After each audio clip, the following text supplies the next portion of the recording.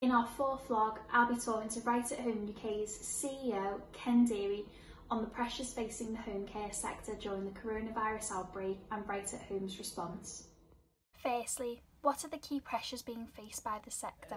Key pressures being faced by the sector are firstly obtaining PPE and the cost of PPE.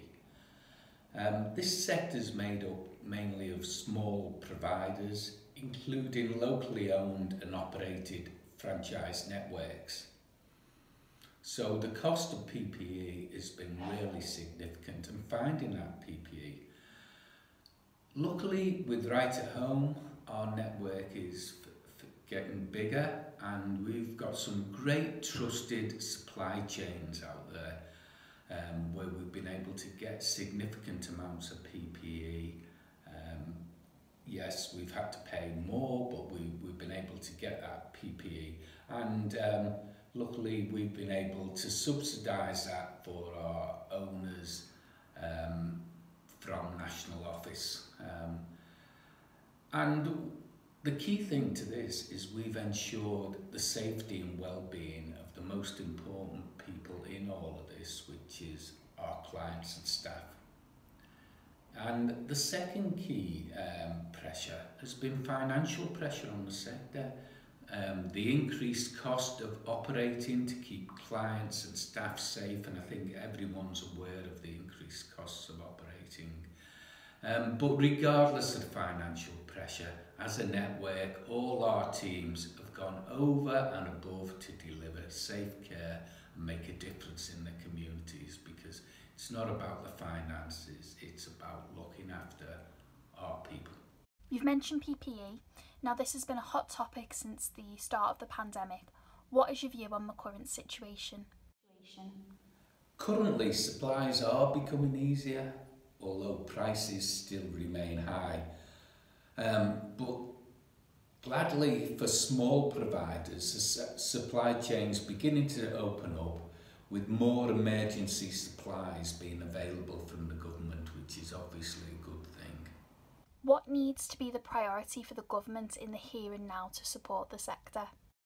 Remember the background is social care is made up in the main by small companies working on small margins but all with a united priority to look after the clients and wonderful staff.